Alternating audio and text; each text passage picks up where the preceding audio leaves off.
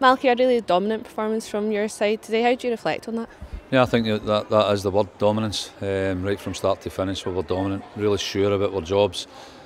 Again, great preparation um, from all the, the backroom staff and again the players, the buy-in from the players is, is exceptional. So, you know, we can't ask for anything more.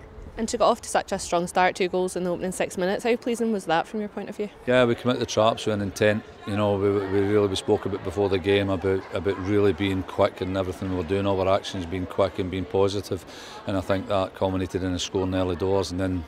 Again, with, with this group of players, when they score early doors, they, they, they get that dominance, they get that confidence, and it just grows and grows. And you made a few changes today as well. How pleased were you with the impact those players made coming into the side? Yeah, great. You know, that players there's, there's a there's a number of players that are training at a high high level just now none more so than Jodie McLeary who has been patient. She's worked so hard she's she's an absolute true professional. Um, and she's a, she's she's one of those girls that listens and learns and you know what what we've just saw and witnessed tonight is a lot of hard work and effort on her part. Um, played two positions and, and our energy levels are just through the roof and as a, a, squad as well, to have the goals spread right across the team must be really pleasing from, from your point of view. Yeah, definitely. You know, um, Cav, Cavs came on a wee bit undisciplined at times in, in her positional sense, but again, she scores two goals tonight. Um, but I think I think there was the, the pleasing bit again was that we had in key areas, key positions, two centre backs were solid.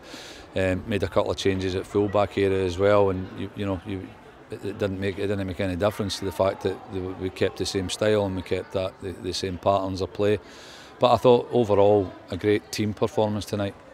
And obviously attention now turns back to the cup next weekend at a semi-final against Spartans to look forward to, but look the full week to prepare for that one. Yeah, definitely. I think um, you know we, we always treat every game in isolation, um, and now we'll, we'll regen, we'll rest and regen, and then we'll, we'll look towards Spartans again um, come next Sunday.